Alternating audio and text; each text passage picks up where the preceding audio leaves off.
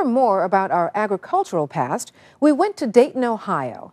On the banks of the Great Miami River is a place called Sunwatch Village. The site of several archaeological excavations, Sunwatch holds many clues to the prehistoric people who were Ohio's first farmers.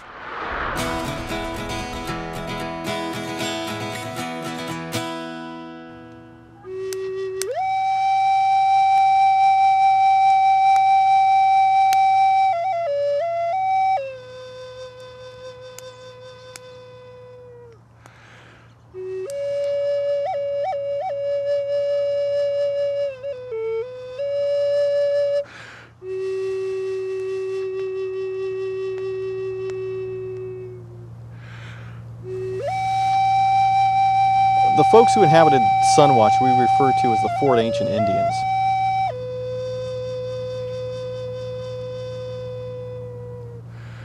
Uh, one of the things that stands out about the Fort Ancient culture is that they were the first real farmers of the Ohio Valley area.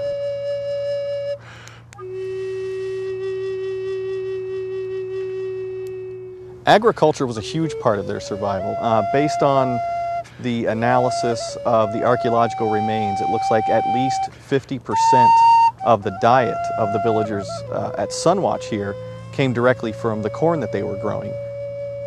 Some sites indicate as much as maybe three quarters of their diet straight out of their garden. So the gardening was a very important aspect of life for the Fort Ancient villagers.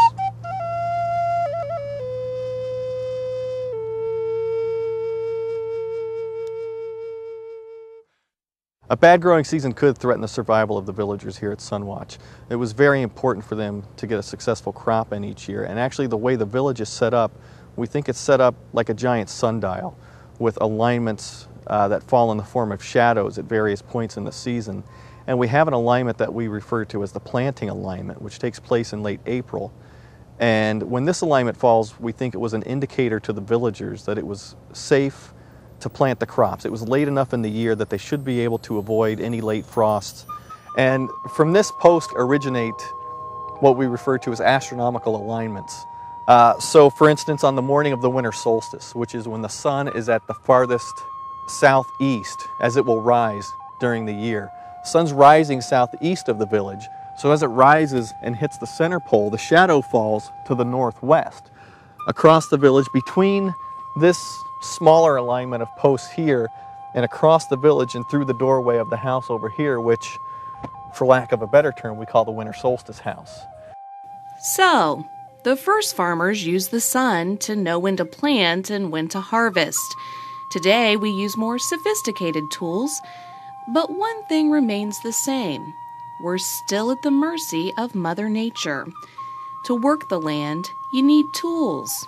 What did the first farmers use to cultivate their fields? The primary tools that the Fort Ancient villagers here at Sunwatch would have used in gardening would have been the clamshell hoe, uh, such as this one, and a digging stick. Uh, fairly simple tools that they would have used, but lacking metal and other modern materials. Uh, these were the materials that they had access to. Uh, the clamshell hoes, uh, one of the reasons probably for the location of this village is it's directly adjacent to the Great Miami River just east of us, about 100 yards or so. These freshwater clams were available by the hundreds in the river. If you go past a cornfield in Ohio today, you just see row after row, straight rows of corn or beans or whatever individual crop they're growing. In the Indian gardens, they would have planted crops in what we refer to as corn hills, uh, in these mounds that they would plant in the gardens with corn at the center, beans kind of growing up and around with the corn and the squash planted around them as, as a kind of ground cover to reduce the weeds and reduce the need for weeding in the gardens. Historically, we've referred to the primary crops of the American Indians as the three sisters, corn, beans, and squash. They would put a, a kind of a stand or a scaffold out near the garden uh, where women or maybe some of the children of the village would stand on top basically to shoo away crows, deer, uh, any other animals that may have been trying to get into the garden. Today, crops quickly find their way to grocery stores, cupboards, pantries, and refrigerators. Some are stored in silos or grain elevators. The Fort Ancient farmers had their own storage system. The villagers here at Sunwatch stored their crops primarily in storage pits in front of their houses in the village. Uh, these would have been storage pits roughly bell-shaped, uh, dug into the ground, uh, anywhere from maybe three to five or six feet deep, about two or three feet around at the surface. Uh, and these storage pits would hold several bushels of food uh, that would have been placed into the pits uh, at the harvest in the fall. A major difference between the first farmers and modern farmers is the use of fertilizers. As far as we know, the Fort Ancient villagers didn't use any kind of fertilizer on their crops. The soils uh, became kind of depleted with the nutrients after a few years, and so they tended probably to move their garden plots every four, five, six years or so to find fresh, fertile ground. For all their differences, Ohio's first farmers and today's farmers are similar in the ways that matter most.